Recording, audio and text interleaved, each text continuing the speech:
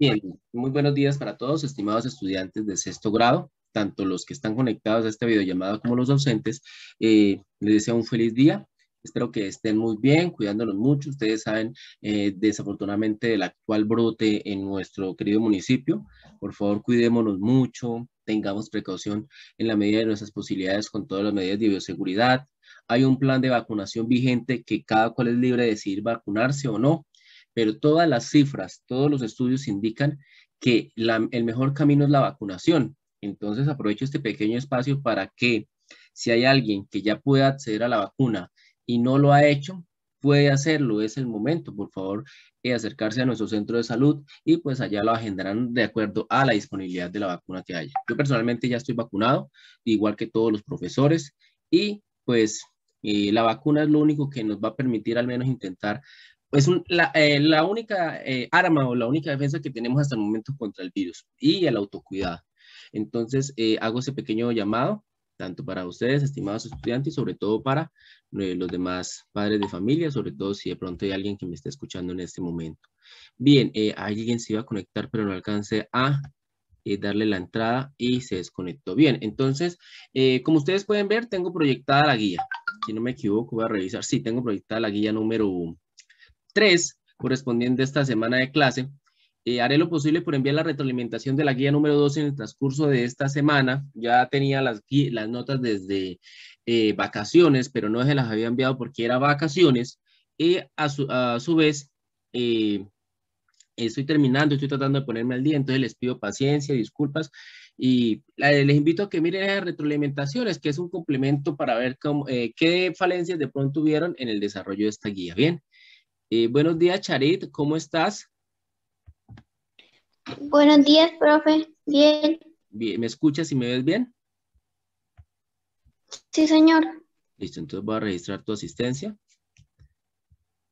Y voy a registrar tu asistencia. Em, y continuamos.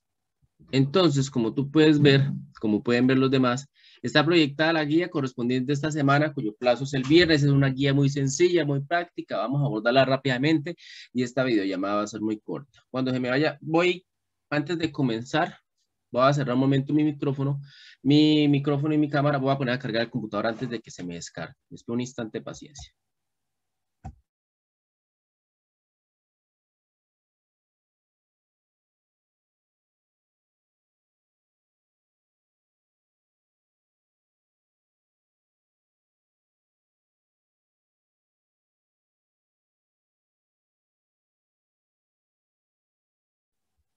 Bien, entonces eh, ya estoy de nuevo conectado. Como ustedes pueden ver, eh, la guía trae, primero hablemos de la guía, después de lo particular que trae. El señor Carlos Eduardo llegó tardecito hoy y ahorita le tomo la asistencia. Eh, como ustedes pueden ver, hay un video, los invito a que por favor lo vean tan pronto finalice la videollamada. Es corto, no es tan largo. Véanlo, es sobre la temática. Ustedes que tienen la conectividad, aprovechen esos pequeños recursos que uno les da de complemento. Entonces, lo que hay que hacer es sencillo. Primero, establece por lo menos dos de las funciones que cumplen para la Tierra y la vida, la litosfera, la hidrosfera y la atmósfera. Como ustedes, yo sé que en quinto ya habían repasado esto, esta guía. Eh, vamos a leer durante las dos páginas las diferentes partes y componentes de la Tierra. Y durante el desarrollo de esa guía, tengan en cuenta eso. Busquen dos funciones. ¿Cómo hace dos funciones? Pues dos aspectos a favor, dos formas en las que gracias a eso existe la vida, ¿sí? Ya sea a nivel de en el agua, en la tierra, en el aire, o gracias a la misma atmósfera, que es una de las tres partes de eh, nuestro planeta. Es sencillo, dos funciones, no más, no les voy a pedir más. Y segundo, es un mapa conceptual sobre las capas de la Tierra, es decir, específicamente para que no se enreden sobre la segunda página, ¿sí? La Tierra desde adentro habla sobre las diferentes capas de la Tierra y sobre esas diferentes capas quiero un pequeño mapa conceptual. Ustedes ya saben que un mapa conceptual, ¿sí? Em, es la esquematización de una información, ¿cierto?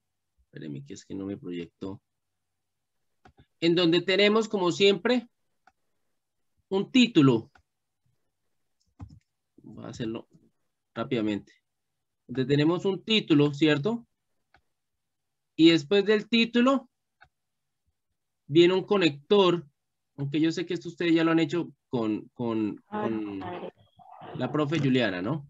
Con el profe, con más de un profesor. Tenemos un título que es, ¿sí? El tema central, entonces el título sería las capas de la Tierra, ya.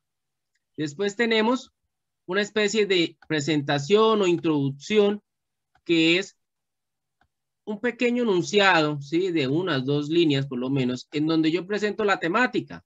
Entonces yo comienzo a decir eh, las diferentes, ya tomo asistencia de Michelle también, y hay dos estudiantes, comienzo a hablar, no, las diferentes capas de la que componen la Tierra, o la Tierra está subdividida en diferentes partes, las cuales eh, permiten que nuestro planeta sea el que posee vida. Ahí ya les hice una introducción. Esa introducción, sí, obviamente recuerden que todo eso va encerrado, lo estoy haciendo con el puntero del mouse, entonces recuerden que todo eso va encerrado en, se me olvidó el nombre, eso tiene un nombre, pero en, ya sea en una nube, ya sea en un recuadro, uy, se me olvidó el nombre. Y después de eso viene la subdivisión de las categorías del mapa conceptual. En este caso, pues, sería la subdivisión de lo que llamamos las diferentes partes de la capa tectónica, ¿cierto? Entonces aquí iría una, aquí iría otra, y así sucesivamente, ¿bien? Entonces, e, eso es un mapa conceptual he explicado muy rápidamente, pero yo sé que ustedes ya lo han trabajado con demás profesores, entonces por eso como que no entro a profundizar algo que sé que ya han hecho como estudiantes de sexto. O alguien de aquí no ha hecho un mapa conceptual, lo quiero escuchar.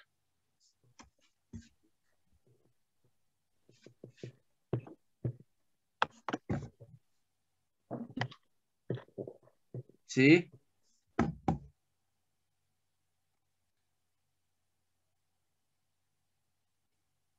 Esto, ¿qué opinan?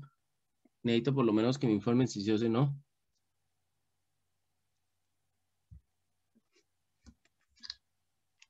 Por favor. Yo sí ya he hecho un mapa conceptual. Si Julián ha hecho, todos han hecho porque a todos les han dejado esa tarea, ¿cierto? Yo sí he hecho Sí, señor. Ah, muy bien. Entonces ya es algo que yo sé que este pequeño repaso es prácticamente lo que ustedes han trabajado. Entonces continuamos rápidamente. Eh, señor Aranda, muy buenos días. ¿Cómo está? Bien, profe. Me alegra saludarlo. Bienvenida eh, también eh, Barrios Michelle. Buenos días. ¿Cómo estás? Buenos días, profesor. ¿Estoy bien? Me alegra saludarte, me escuchas y me des bien. Y Carlos Eduardo también me escuchas y me des bien. Sí, señor. Después llenaré tus dos apellidos. Creo que eres Barrios Uribe, ¿cierto? No, señor. No, estoy equivocado, perdón, discúlpame. Barrios. ¿Cómo? Darcy Michelle Tapias Barrios. Tapias Bar, eso, Tapias, sí, Tapias, Tap- Tapias, perdón, me equivoqué, mi teclado tiene la culpa, Barrios. Y Michelle, como está escrito ahí en, en tu nombre de, en la videollamada, ¿cierto? Y segundo nombre, Y Darcy. Darcy, Darcy Michelle. Michelle. ¿Así está bien escrito? Sí, señor. Listo, bienvenida. Eh, soy tu profesor de sociales. eh, te doy la bienvenida a la institución. Me alegra que puedas conectarte. Excelente. Estoy dando las especificaciones básicas del desarrollo de la guía. Eh, voy a mirar, hay 11 personas conectadas. Y esas 11 debo tener aquí una, 4, 5, 6, 7, 8, 9. Sí, tengo la asistencia de todos los 11, entonces vuelvo a la guía. Bien, entonces, eso es lo que hay que hacer de la guía, no más. Hay una cosa que quiero que tengan presente que acabo de esto, y lo debo confesar aquí abiertamente público. Eh, yo sé que hay estudiantes que se han colaborado grupalmente, han hecho el deber de cambiar sus trabajos cuando ven la posibilidad. O sea, yo sé que ha habido trabajo cooperativo, lo cual yo no digo que es malo. ¿Sí? El problema es cuando caemos en copia, cuando yo copio total y no colaboro en nada del trabajo. En clase presenciales normalmente trabajamos los trabajos grupales, ¿sí? Porque ah, yo estoy atento a quién está trabajando y quién no como profesor dentro de clase. Pero por efectos de calificación, debo confesarlo, calificar más de 170 trabajos cada dos semanas es muy difícil. Me ha sido prácticamente imposible y ustedes se han dado cuenta que últimamente no he podido estar al día del ritmo de entrega de trabajos que ustedes me han enviado. Estas vacaciones fueron solo calificar y calificar cuando debían ser vacaciones. Eh, pero usted no tiene la culpa. Entonces, eh, ante esa situación, he decidido optar por quien voluntariamente, obviamente, ¿sí? por medio de videollamadas, por medio de llamadas, por medio de WhatsApp, sin la necesidad de reunirse presencialmente con sus demás compañeros, quiera entregar el trabajo en grupo, lo permitiré hacer. ¿sí? Un trabajo por tres estudiantes, máximo. Más de tres creo que ya eso es coche. Pero no es obligatorio. Si usted quiere seguir haciéndolo individual, lo puede hacer individual. No hay ningún problema. Pero si usted lo va a entregar con máximo uno o dos compañeros más, lo puede hacer, recibe un trabajo por grupo, por favor. Entonces, quiero que lo tengan presente ustedes, estimados estudiantes, sobre todo los que tienen la conectividad del caso para trabajar remotamente, que esa es la idea. Que si se van a hacer en grupo, no sea presencialmente. No, yo como profesor no estoy diciendo eso. Quien vaya a trabajar con algún compañero grupalmente es porque tiene la posibilidad de hacerlo remotamente. Y esto es algo que ya se hace en bachillerato, por lo menos en la parte de la modalidad, que también voy a aplicarlo en todos los grados. Pero antes quería hacerlo individual, pero me, me, no doy abasto, la verdad, no soy capaz. Me ha quedado muy difícil, entonces haré esto, volveré a esta modalidad grupal, pero bajo la voluntad de ustedes, quien desea hacerlo. Y quien no, pues trabaja individualmente. Quien quiera hacerlo solo con un compañero de dos personas, bien, también, pero máximo tres. ¿Listo? Entonces que quede claro eso. Eh, ¿Alguna duda sobre esto que acabo de decir? No, señor. Gracias. Muy buenos días para Brigitte Alejandra eh, Moreno Uribe. Eh, bienvenida a esta Buenos días, profe. videollamada. Me alegra saludarte. que este, me alegra. ¿Cómo estás? ¿Bien? Bien. Pues voy, a, agregarte aquí a, a la lista también de asistencia y comenzamos en forma de explicar rápidamente la guía. Moreno. Siento que me toca con el otro teclado porque el del computador ya me dañó. Brigitte Alejandra.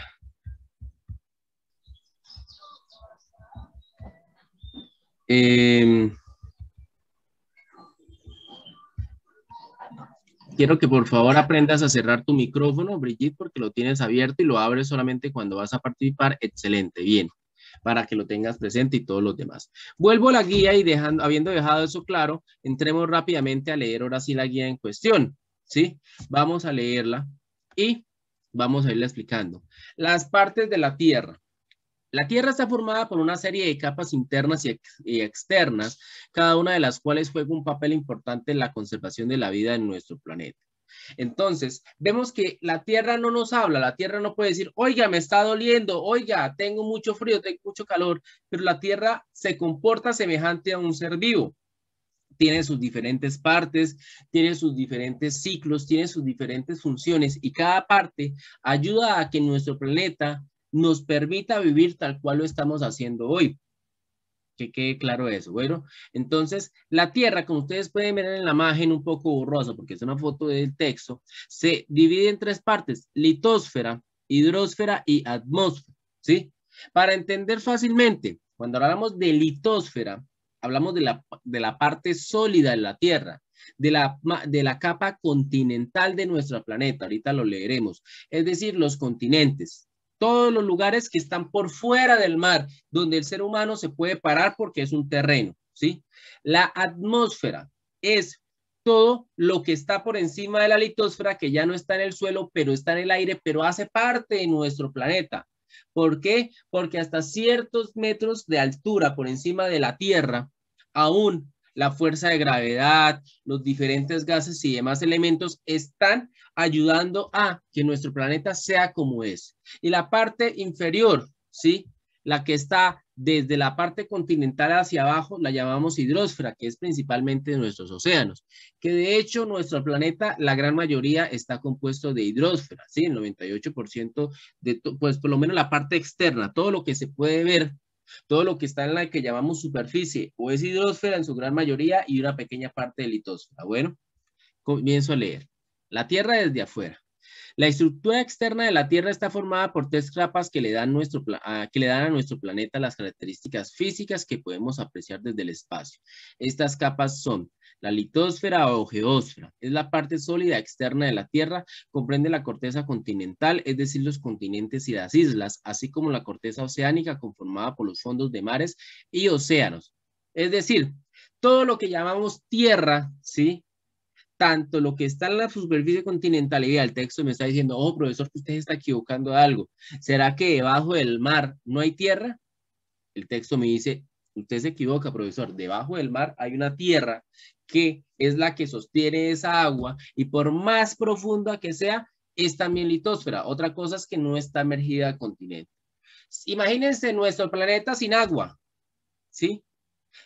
Tendría o podríamos ver el fondo del océano que está a 10.000 metros aproximadamente, pero sería un tierra. O imagínense que estamos al borde del mar y comenzamos a caminar y pudiéramos seguir bajando caminando. Eso sería un litósfera hasta las profundidades porque es la capa que, superficial de tierra, a pesar de que esté cubierta por mar. Bueno, la hidrosfera es la capa conformada por toda el agua dulce y salada que existe en el planeta. Ojo, les hago una pregunta, estimados estudiantes de sexto, levantando la mano en la aplicación. ¿Cómo así agua dulce y agua salada? ¿Quién me quiere explicar eso? Juan Pablo, bien pueda, lo escucho. Pues el agua dulce es la que viene en los pueblos, los que se encuentran en ríos y, y la salada que se encuentra en los océanos. Sí. Bueno, Juan La Pablo. salada Sigue, sigue, no sigue, sigue, sigue. Sigue. ¿Me vas a decir algo? pues se, les diferencia salada y dulce porque las dulces sí se puede beber y la salada pues no. Ah, bueno, te iba a preguntar algo. Resulta y pasa que si voy al mar y desafortunadamente soy no, novato en esto y abrí la boca y venía una... ¿Qué pasa con esa agua que tomo? Pues se enfermaría el estómago porque es tan salada que no sería digerible, supondría. Cierto, muy bien, Juan Pablo. O sea que el agua del mar sí es en efecto salada. Quienes, de hecho, yo no hace mucho fui al mar, de hecho, casi toda mi vida no nunca, sí, no había tenido la oportunidad de ir. Y pues lo, lo comento por si alguien no ha tenido la oportunidad de ir aún, no se preocupen. Desde que la vida lo permita, tarde o temprano podrán ir. Pero el agua salada, como bien lo dice Juan Pablo, uno llega y en un principio inclusive los ojos arden, ¿sí? Hay un momento en donde ya el pH, es decir, la acidez, creo que la acidez sí, eh, se adapten y podemos abrir los ojos debajo del agua, pero al principio arde mucho. Si tomamos algo de agua, nos va a quemar la boca, sobre todo la, la garganta, porque es en su efecto salada. Porque, por ejemplo, si nos fuéramos a un naufragio, si estuviéramos en el océano, uno dice, ¿por qué la gente se muere de sed si es que está en un barco con agua y el océano está lleno de agua?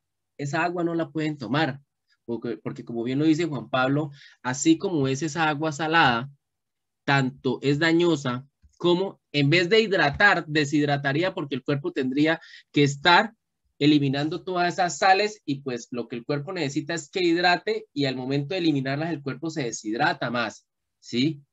Por eso es que cuando yo tomo algo que, un caldo con mucha sal me da sed. Si tomo algo que tenga mucha sal, me da sed, porque el cuerpo, en su afán de eliminar esas sales, se va a deshidratar. ¿Listo?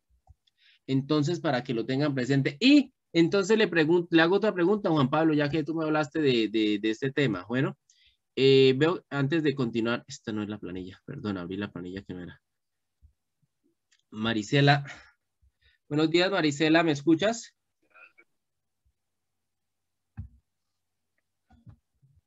Marisela, ¿me confirmas por favor conectividad? Ya te tomé el retardo, pero de todas formas me confirmas. Bueno, mientras- Buenos días, profe. eh, iba llegando tarde, Marisela, ten cuidado por favor porque ya llevamos buen rato en la clase. ¿Listo? Profe, es que acá en mi casa está bajita la luz. Ah, listo. Te comprendo porque no es el único, no es el único lugar. Eh, de hecho, no sé si aquí pues ha llovido mucho, ¿sí? Hay que tener cuidado. Bien, listo. Ustedes bien, te comprendo. y, te, y, más sé que estás distante, entonces yo te agradezco siempre que te puedas conectar. Bien, entonces bueno, Juan David, entonces el agua dulce es dulce, ¿cierto? Si la salada es salada, el agua, el agua dulce es dulce. Y entonces toca sacarle el azúcar que tiene, ¿no? Pues no, o sea, no es que se le diga dulce porque, o sea, tenga azúcar, no. Se le dice así porque es bebible y no tiene sabor, supondría yo. Y al Ah, venir de los polos, pues, mm, sí, prácticamente la fuente de agua dulce en el mundo es- son los polos. Bueno, para, para eh, eh, todo lo que me has dicho está muy bien. En efecto, como me dice eh, Juan, Juan David, el agua dulce es dulce no porque se no la pueda, porque sea dulce como la miel, dulce como la panela, como el azúcar. Y, ay, estoy- y, y entonces toca quitarle el dulce, porque es que si fuera dulce, entonces seríamos diabéticos, sufrir- sufriríamos de azúcar. No, el agua que es bebible es dulce porque carece de sales, no porque tenga azúcar, ¿listo? Pero tú me dices algo que me llama la atención. ¿Tú por qué me hablas que el agua dulce viene de los polos? Pues, mm, ¿cómo le digo? Pues esos polos ya existían desde las primeras glaciaciones del planeta, ¿no? Entonces, y se han mantenido en los lugares en los que menos calor llega, mucho lejos, muy lejos de la línea del Ecuador. Y nunca se les hace tanto calor que se derritan así, pero claro que como ahorita estamos en el calentamiento global, se están derritiendo lentamente. De hecho, vas a poder decir rápido, pero ese no es el tema. Bueno, pero entonces, entonces, ¿cómo hacemos? ¿El único lugar donde conseguimos agua dulce es en los polos? No, hay muchas más fuentes de agua dulce, sino como, no sé, ríos. eh, pues sí, conozco que haya más fuentes de agua dulce, pero no son, no, no se me acuerdo sus nombres ahorita. Ah, bueno. Bien, yo, yo, le, te pregunto porque quiero como complementar algo, no es que esté cerrado, ¿sí? Como cambiar un poquito lo que me dices. Los polos, chicos, ¿cuáles son los polos? Los que están ubicados a los extremos de nuestro planeta. Como pueden ver que trato de señalar con el mouse. El polo norte y el polo sur, o el círculo polar ártico que está en la parte norte de nuestro planeta, eh, al lado de Estados Unidos, y el círculo polar antártico que está en la parte sur de nuestro planeta, cerca a Chile y Argentina del 100% del agua, alrededor del 97% es agua salada y está en el mar. Y solamente el 3% de nuestra agua, ¿sí? Ya, te, ya le doy la palabra a... ¿Me está levantando la mano? Ah, no, nadie. Y solo, ah, tengo un mensaje. Eh, solo el 3% de, del agua de nuestro planeta es agua dulce, es decir, agua que podemos consumir y de solo ese 3% del 0,5 al 1% del agua es, está en lo que llamamos la litosfera, que es de pronto lo que faltaba que Juan Pablo nos comentara. Están nuestros ríos, están nuestras quebradas, porque proviene de nuestras montañas principalmente, y recordarán el ciclo de lluvia, que el sol evapora el agua de los océanos y de las montañas, perdón, de la tierra, y la lleva al cielo y en el ciclo de la lluvia pues sube gaseoso, se vuelve sólida, vuelve a llover y cuando llueve en nuestro planeta, desde que llueve en las montañas y en demás partes de nuestro continente, fácilmente accedemos a esa agua, ya sea porque la recogemos directamente de la lluvia o por nuestros ríos o por nuestras quebradas, está. Por eso es que hay que cuidar nuestras montañas, por eso es que cuando tenemos fincas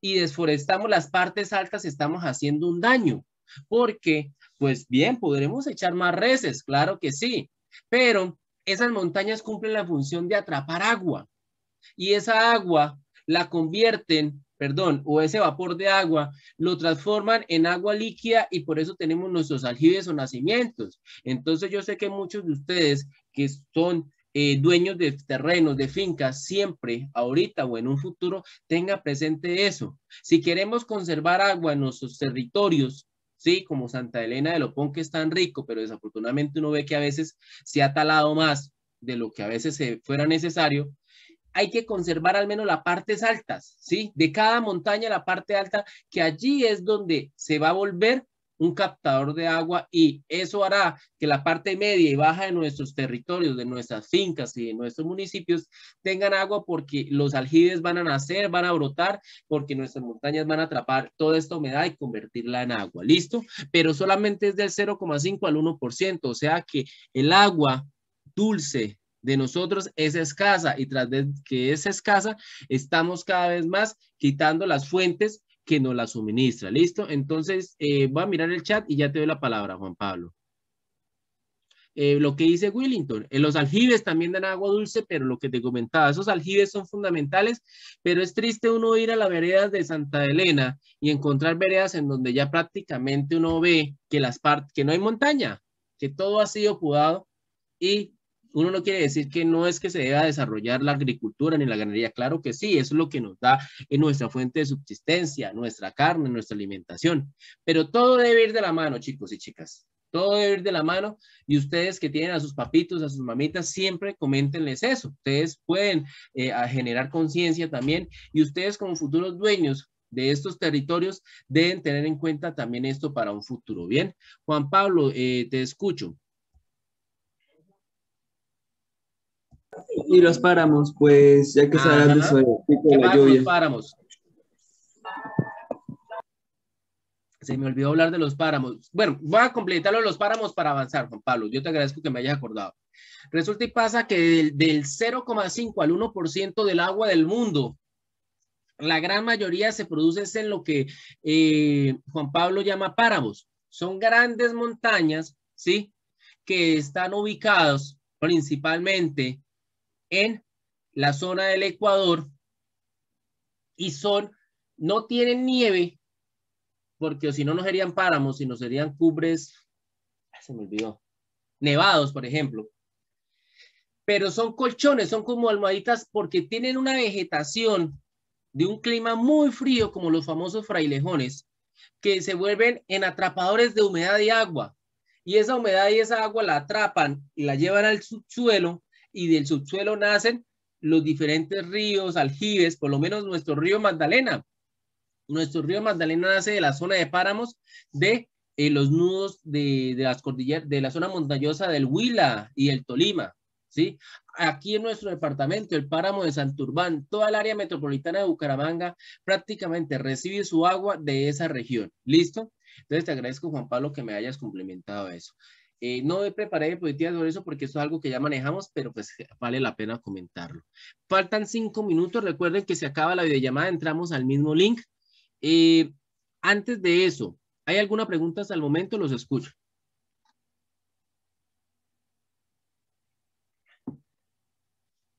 no, señor. Gracias, Julián. No, señor.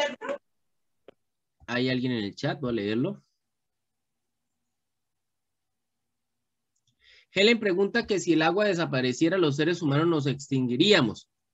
Si el agua desapareciera, tanto salada o dulce, claro, todos nos desapareceríamos porque es que no solo el ser humano, sino también las diferentes especies que viven en nuestro planeta, porque nosotros somos, en esencia, especies que sobrevivimos de el agua. Nosotros, nuestro, nuestra composición de nuestro cuerpo, sí, la composición de nuestro cuerpo, perdón, eh, está de alrededor de un 70% de agua, si no me equivoco. Es decir, la gran mayoría de nuestro cuerpo es acuosa, agua. Por eso es que, vea, hasta en filosofía esto ya es de décimo.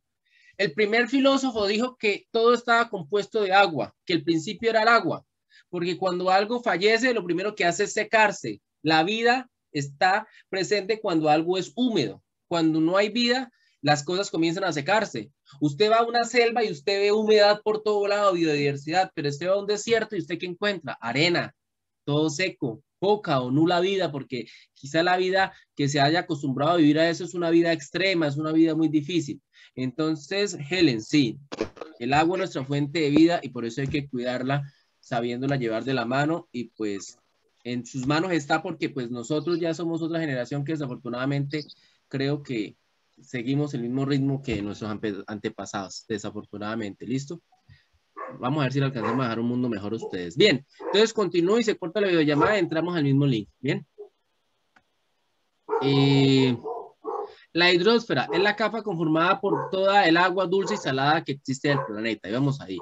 En la Tierra podemos encontrar agua en estado líquido en los océanos, mares, ríos, lagos, etc.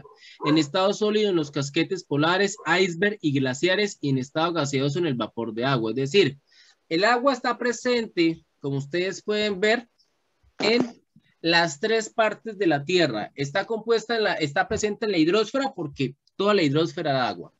Está compuesta, está presente en la litósfera porque encima de los continentes o encima o por encima de la parte subterránea de la litósfera está la hidrósfera. Pero encima de los continentes están los ríos, están los mares, están las quebradas, están las lagunas, están los lagos, ¿bien? Y está presente en la atmósfera, porque aunque no la vemos, gaseosamente está el agua presente. Cuando nosotros ponemos a hervir agua y el agua comienza a echar burbujas, es que comenzó a evaporarse porque llegó a su punto de ebullición, es decir, de evaporación. ¿Cuál es el punto de ebullición o de evaporación del agua? Los escucho levantando la mano por la aplicación, por favor. Julián tiene el micrófono abierto. A Carlos Eduardo, te escucho. Muy bien. Cuando yo pongo a hervir, oiga, ponga a hervir el tinto, pero primero ponga a hervir el agua, chino, rápido. Así, cuando nos mandan ustedes allá en la casa, no mentiras. Les dice, mi hijo, ponga a hervir agua, que es que necesito pringar un pollo. Entonces usted llega juicioso y lo pone, pone el agüita, y el agua hasta que no alcanza los 100 grados, no, comienza. ¿Por qué hace eso? Porque el agua llegó a un estado en donde de líquido, por el calor, las moléculas comienzan a vibrar, a chocar y por ende a evaporarse, a pasar a un estado gaseoso. Y el agua comienza a evaporarse, evaporarse. Y esa evaporación va a ir a nuestra atmósfera y en las nubes se va a reunir de nuevo y se va a volver a condensar para volverse líquida y volver a caer a nuestros territorios. Muy bien, listo. Pero ténganlo presente. Entonces, en resumidas cuentas, el agua está presente en todas las tres partes de la Tierra, aunque no la veamos. ¿Listo? Eh, tengo un chat.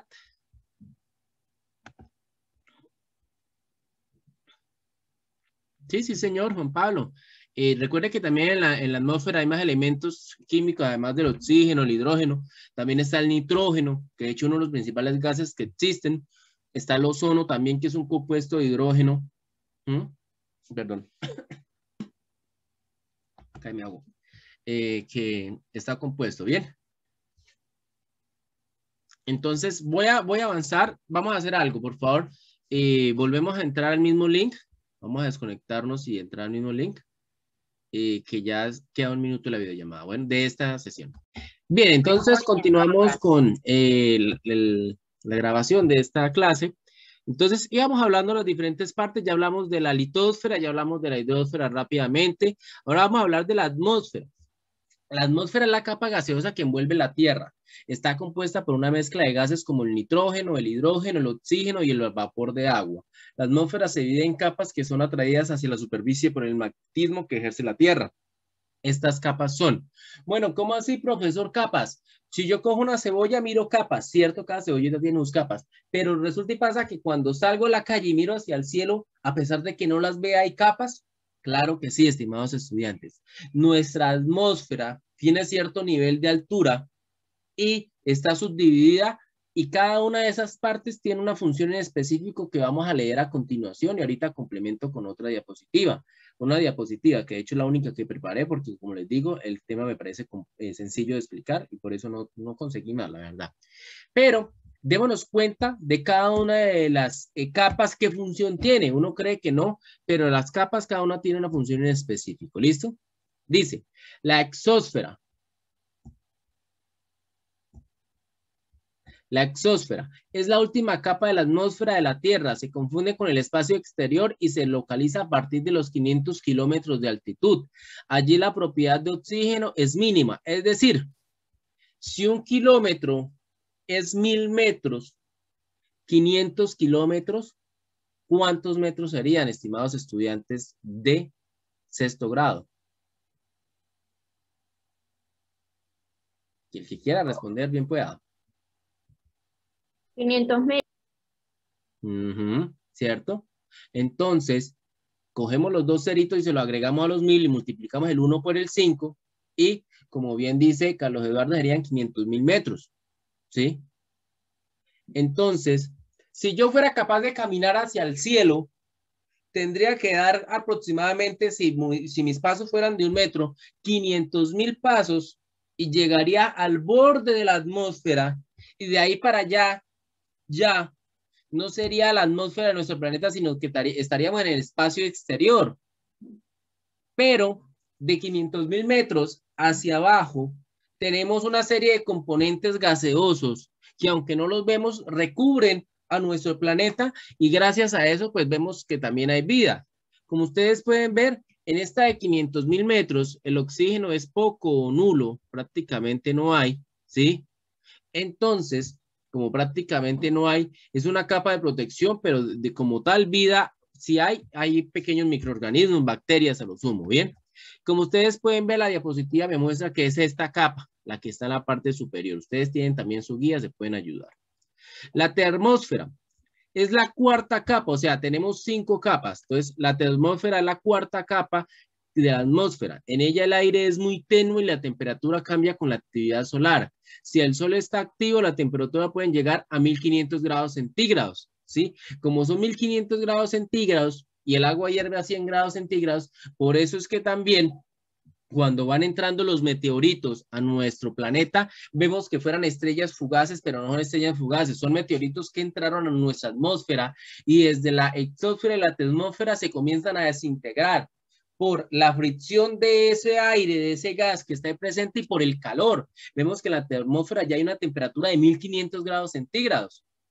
Entonces, uno diría, yo veo solo aire, ahí no hay nada, no, ahí hay unos gases, ¿sí? Que se comportan y vemos que en la termósfera hay un calor supremamente abrupto que desintegra todo lo que no esté preparado.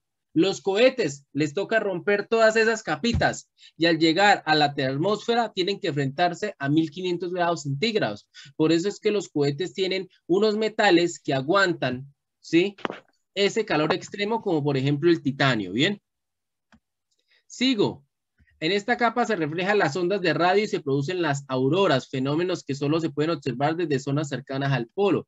Ahorita en las diapositivas que mostraré, en la diapositiva se verá mejor, pero las auroras boreales solamente se ven en el polo norte y en el polo sur. Son unas luces eh, supremamente hermosas, pero son el resultado de que la luz solar entra y genera un efecto visual que genera esa luminosidad. ¿Listo? La mesósfera ustedes pueden ver, es esta. Es la tercera capa de la atmósfera y se extiende entre los 50 y los 80 kilómetros de altura. No contiene ozono ni vapor de agua, pero su cúmulo de hielo y polvo, por lo que se considera que es la capa más fría de la atmósfera. Entonces, si yo voy entrando del espacio, tengo que pasar la exósfera, que no me va a presentar mayor problema. Tengo que entrar a la termósfera, que hace mucho calor, muchísimo, pero después de un calor tengo que entrar inmediatamente a la mesósfera y del calor paso al frío. Entonces los componentes que quieran eh, aguantar esos cambios tan bruscos tienen que estar dispuestos a un extremo calor o pasar al frío, porque el frío es 0 grados centígrados por lo menos porque ya hay cúmulos de hielo y polvo. ¿Listo? Juan Pablo, tú ibas a decir algo, te escucho. ¿Qué es lo que está arriba de la aurora? En, en los dibujos de la guía. Arriba está la atmósfera. Eh, la cosa blanca que está ahí. Es como el reflejo de la luz cuando choca con la atmósfera, sí, pero es un primer reflejo. Y cargas eléctricas. Recordemos que aunque no lo veamos, hay diferentes manifestaciones de energía que en nuestro universo están todo el tiempo chocando, sí. Desde los elementos físicos como los meteoritos, desde toda la radiación solar, sí, que está golpeando todo el tiempo en nuestro planeta y la atmósfera con sus diferentes capas es un filtro. Es como un colador, que cuando yo hago el jugo, saco el jugo, pero las pepas se quedan afuera, lo mismo. Cuando la luz del sol viene con todas esas cargas de rayos violeta, de rayos gamma, rayos alfa, chocan, se van quedando en cada una de las atmósferas, ¿sí? En este caso, la atmósfera sería el primer filtro, eh, Juan Pablo. Continúo entonces y si algo pues me comentas, ¿bien? La estratosfera, que sería esta, yo ahorita les muestro una imagen más clara, Es la, segunda capa de la atmósfera y en ella se encuentra la capa de ozono. Esta capa tiene la función de filtrar las radiaciones ultravioleta procedentes del Sol, que son muy perjudiciales para los seres vivos. La existencia de este, de este estrato, eh, sí, de este estrato es una de las claves de la vida en el planeta Tierra. Actualmente, sé que la profe Herminda les compartió muchísimo las exploraciones en Marte y uno dice, oiga, pero ¿por qué en Marte hay vida? Una de las cosas por las que en Marte no hay vida es porque la atmósfera de Marte no tiene estas subdivisiones, ni siquiera ozono, ¿sí? Cuando la luz o cualquier material espacial quiere entrar a Marte, pasa derecho, chicos. Pasa prácticamente derecho porque la atmósfera de Marte es muy liviana, muy débil no tiene esta subdivisión de capas y por tal motivo es un planeta muy agreste para la vida. Y eso lo hemos visto ya con todas las, el Perseverity, el rover Perseverity, creo que es que se llama así, el, el robot que está ya explorando el planeta en este momento. ¿Listo? Y finalmente, la troposfera. Es la capa inferior de la atmósfera y por tanto la más próxima a la superficie terrestre. Se extiende hasta una altura media de 12 kilómetros y presenta un espesor mayor del ecuador en el ecuador y menor en los polos, en los dos polos.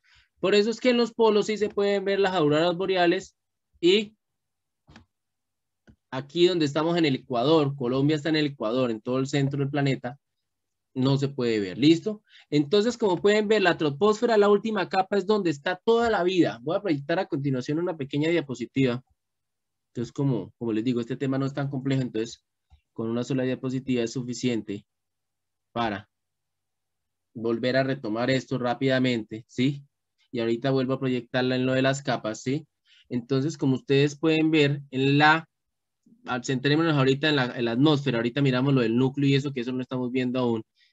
Entonces vemos la Tierra, ay, perdón, perdón.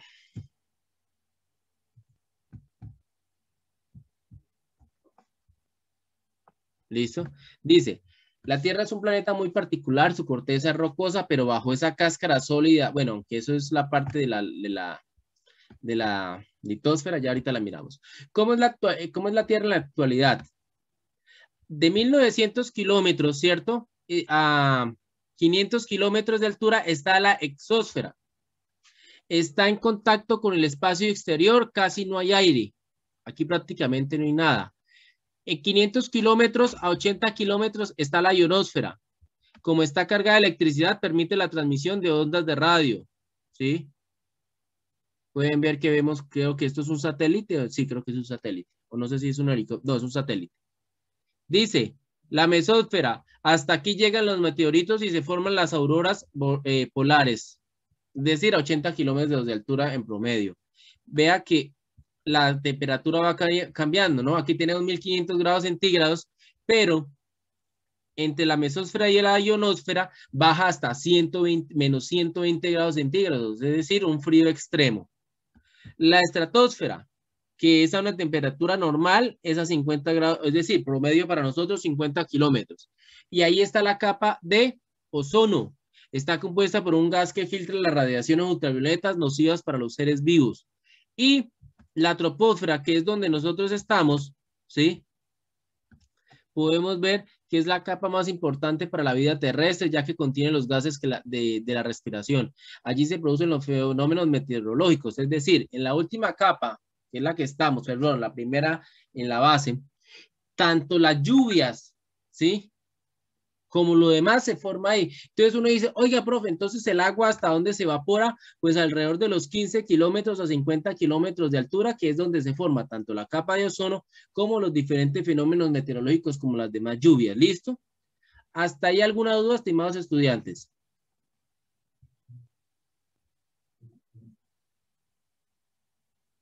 Bien, ahí hablamos entonces. ah, bueno, entonces miremos qué pasa con la atmósfera. ¿Qué pasaría si el planeta no tuviera atmósfera? La, la, la infografía nos lo dice fácilmente. Vean, la atmósfera es una capa gaseosa que permite la vida porque contiene los gases que respiramos, pero además protege a la Tierra de las radiaciones ultravioleta del Sol, que si llegaran a atravesarla ocasionarían daños en los seres vivos y aumentarían la temperatura y también actúa como un escudo ante el impacto de los meteoritos. Si la atmósfera no existiera, nuestro planeta se vería tan agujereado y reseco como la luna. Como usted puede ver, Si la atmósfera no existiera, nuestro planeta sería así, como la Luna, seco, sin nada, lleno de cráteres, porque todo meteorito que entrara lo bombardearía. Y en cambio, con la atmósfera, es como hoy en día lo vemos, un planeta totalmente habitable, un planeta cómodo, etcétera, etcétera. ¿Listo? Entonces, eh, ¿qué, más les puedo comentar de eh, la parte de la atmósfera ya, de la, de la hidrosfera, que también hemos leído? Quiero que leamos esto, ¿sí? Desde el espacio la Tierra, por favor, hay un micrófono abierto y ustedes saben que deben tener los micrófonos abiertos, cerrados. Mariana, por favor, ciérralo, ya lo cerré. Desde el espacio, la Tierra se ve como una hermosa esfera de agua salpicada por fragmentos de territorio. Nuestro planeta es el único en todo, ojo, el único en todo el sistema solar que, por sus rasgos y de temperatura, posee agua en sus tres estados, hielo, agua, líquida y vapor. ¿Listo? Entonces, que lo tengan presente también. Y leo esto de la atmósfera.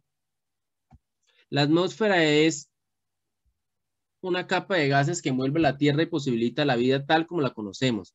Actualmente está compuesta por un 78.05 de nitrógeno, eso es lo que te comentaba Juan Pablo, la mayoría es nitrógeno de nuestra atmósfera, aunque lo que respiramos es oxígeno, un 20,95 de oxígeno, un 0,03 de dióxido de carbono y vapor de agua y gases nobles en el 0,97 restante. Bueno, gases nobles, es decir, los primeros de la tabla periódica, como lo dijo Juan Pablo, hidrógeno, helio, ¿sí? Que son los más livianos. Bien, si no me equivoco, ustedes me ayudarán a, si me estoy equivocando, les agradezco que me, eh, me corrijan. Bien, y leemos esta parte de la infografía sobre la formación de la Tierra, la forma, ¿sí?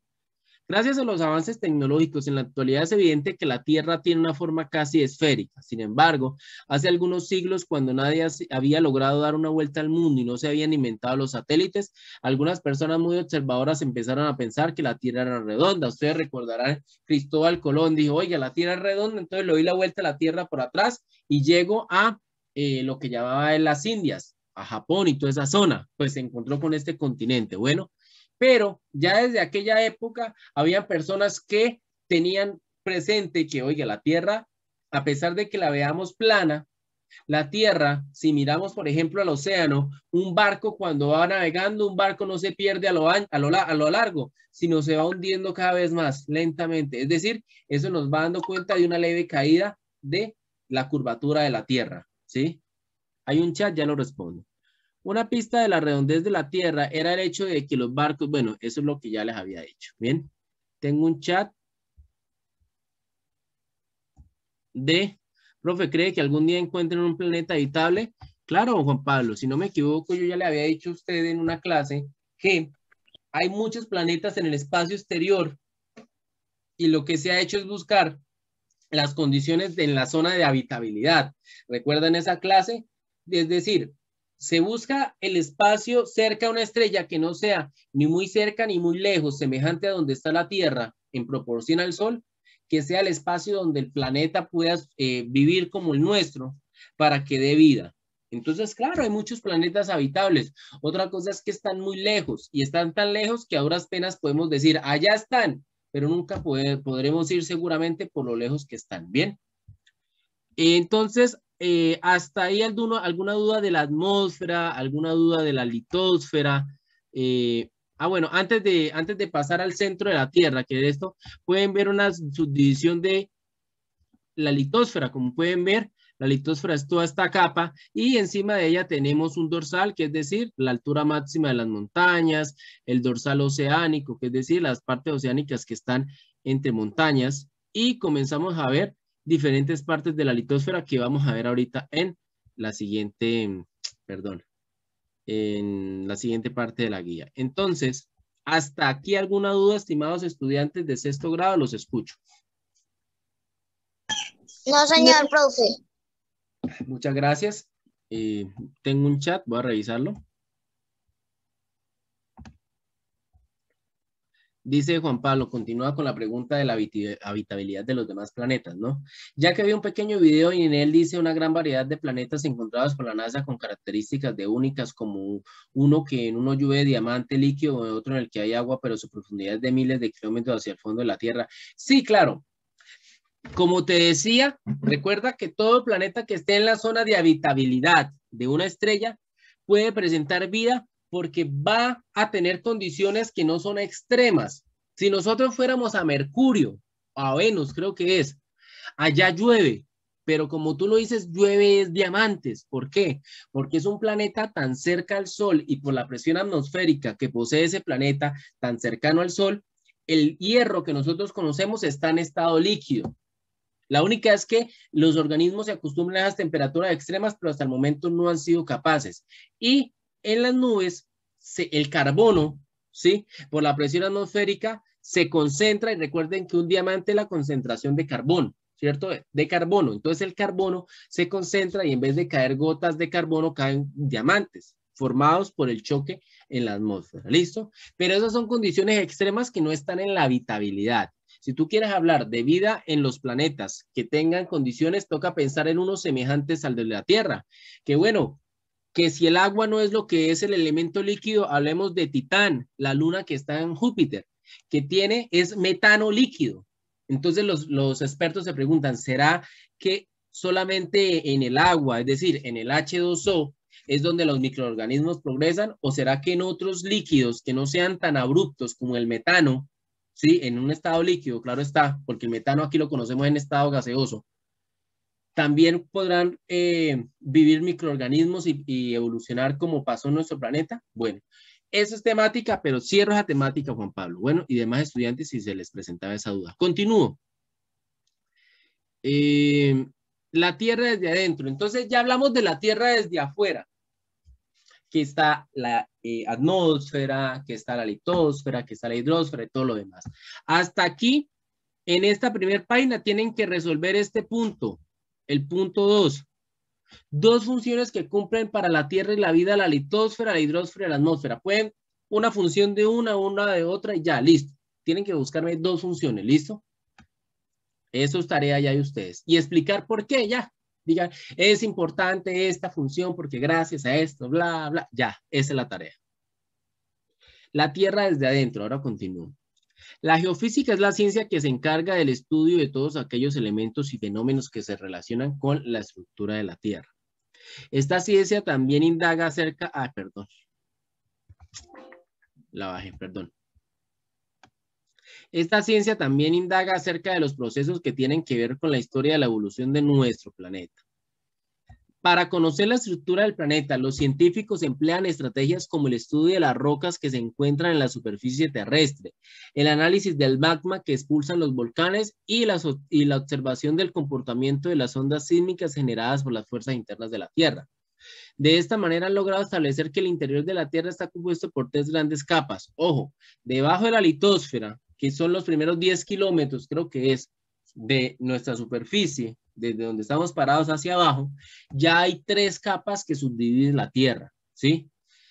¿Cuáles son? El núcleo, el manto y la corteza. El núcleo que está en todo el centro, el manto que es la parte intermedia y la corteza. Entonces vamos a mirar primero cuál es el núcleo. Como ustedes pueden ver aquí en esta diapositiva nos muestra el núcleo interno se divide en dos, núcleo interno y núcleo externo. Núcleo interno es la capa interna de la Tierra. Se encuentra en estado sólido a pesar de que su temperatura sobrepasa los 2500 grados centígrados. 2500 grados centígrados en nuestra superficie, cualquier cosa estaría en estado líquido o gaseoso, nada en sólido, ¿listo? Pero a lo que está en el interior tan recubierto, a pesar de que sea caliente, todo está tan concentrado que se mantiene sólido. Y gracias a eso, eh, nuestro planeta posee calor, porque nuestro planeta existe gracias a la luz y el calor del sol y gracias al calor interno que tiene. Eso es como yo, como todo ser humano. Por les digo que nuestro planeta es como un ser vivo. Gracias al sol de afuera, tenemos vitaminas que todos los días nos dan, ¿cierto? Y podemos ver pero internamente nuestro cuerpo también produce calor, ¿o no? Si no está haciendo sol, pues yo tengo un calor, obviamente me toca abrigarme para conservarlo, pero también lo poseo. Lo mismo en nuestro planeta, en su interior, tiene a 2500 grados centígrados su núcleo. Y ese núcleo está en estado sólido, pero son muchos metales que están ahí concentrados y como están encerrados en las demás capas, no pueden estar en estado eh, líquido, pero emanan calor y ese calor nutre al resto del planeta internamente, ¿bien? Está formado principalmente por hierro y níquel. Debido a las altas presiones, el hierro permanece en estado sólido. Y el núcleo externo, es decir, la capa que cubre el núcleo interno.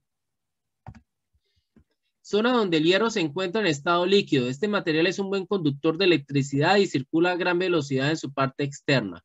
A causa de ello se producen corrientes eléctricas que dan origen al campo magnético de la Tierra. Ustedes recordarán que el campo magnético, ¿sí? Es el magnetismo es uno de los tres tipos de energías que existen y cuando cogemos una brújula apuntará al norte porque el campo magnético de nuestro planeta está en este momento aproximadamente hacia el norte de nuestro planeta, pero el campo magnético también puede cambiar, pero es una temática que sé que si algún día la ven, la profe Herminda les va a explicar mejor que yo. Pero que quede claro, quedémonos con esto en sociales. El núcleo de la Tierra se divide en núcleo interno y núcleo externo. El núcleo interno, 2500 grados centígrados, estado sólido por la presión. Núcleo externo, hierro en estado líquido que genera gran fuente de electricidad que genera el campo magnético de nuestro planeta. ¿Listo? Bien, hasta ahí. No, no vayamos a más y no me pregunten más porque la verdad prefiero no confundirlos. ¿Listo? ¿O hay alguna pregunta de esto? no, señor profe quedémonos en esas partecitas y sé que después en, biología, en esto, a profundidad ven esta temática, pero al menos que cuando le digan, profe, cuando le diga a la profesora, ¿saben qué es el campo magnético? Ah, sí, es un campo de energía que se produce desde el centro de la Tierra. Uy, muy bien, Pepito, sí puso atención. Bien. Después de esas partes internas viene el manto, que ustedes pueden ver, que se subdivide en dos, el manto inferior y el manto superior, ¿sí? Como ustedes pueden ver, vamos a leerlo. El manto es la capa intermedia de la Tierra, rodea el núcleo, tiene un espesor estimado de 2.800 kilómetros. El manto está compuesto por dos partes, el manto inferior y el manto superior. Es decir, el manto es toda esta zona que está después del núcleo, tanto interno y externo, que de aquí a aquí tiene 2.500, 2.800 kilómetros. Bueno, entonces leamos. Está el manto inferior está en contacto, en contacto con el núcleo externo y se encuentra en estado sólido. Es decir, el núcleo del planeta está en estado sólido. El núcleo interno, el núcleo externo es el hierro que recubre eso y está en estado líquido. Pero encima tiene el manto inferior que está en estado sólido y le da presión a ese núcleo para que no eh, se derrame por el exceso de calor, ¿cierto? Y el manto superior, Está compuesto por materiales viscosos que se mueven lentamente. Esta capa tiene características sólidas que en conjunto con la corteza terrestre forman la litosfera.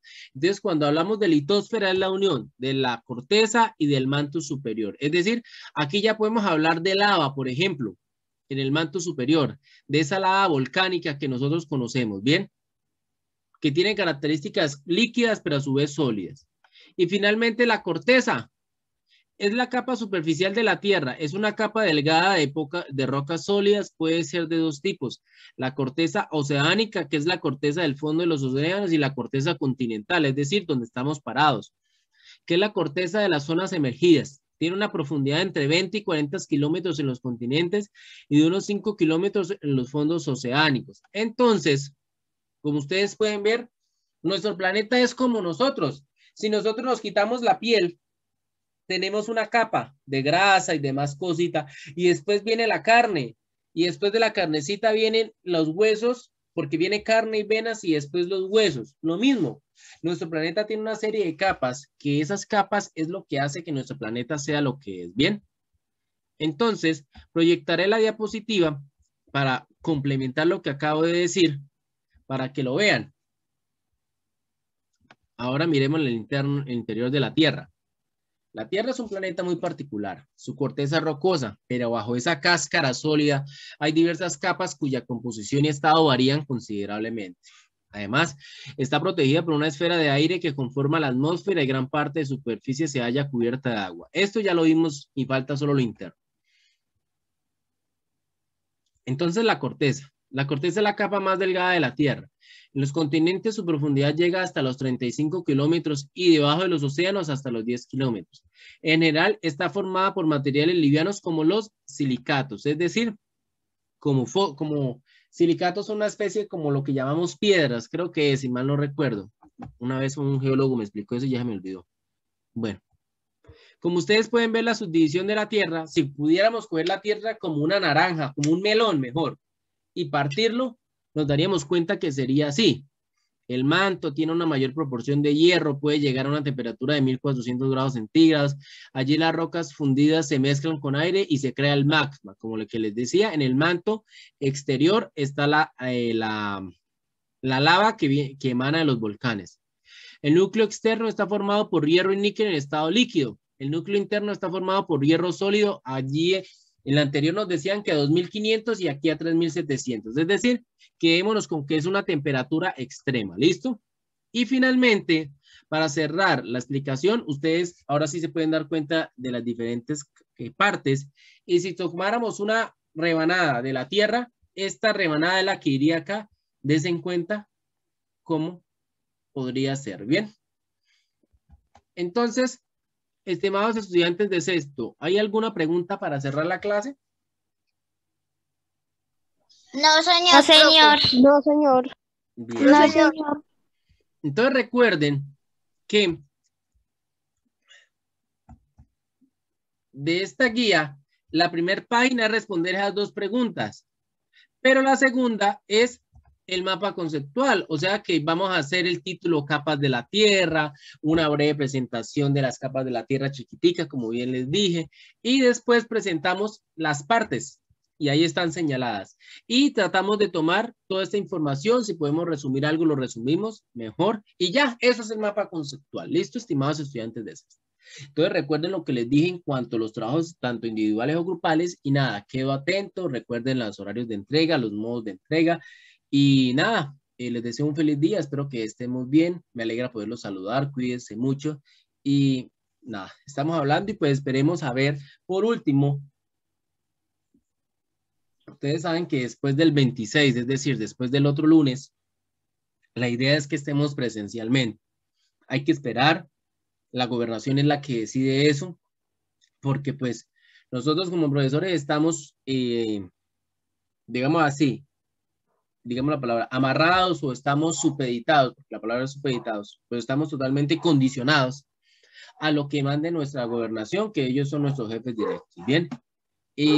pero pues cualquier cosa estaremos en contacto y se les avisará con tiempo. Bueno, por ahora trabajemos así, juiciosos y digámonos cuidando. Un abrazo y un feliz día. Que estén muy bien. Chao, chao. Chao, profesor. Chao, profe. Gracias. Un feliz día. Chao, profe. Gracias. A ustedes por asistir. Chao, chao.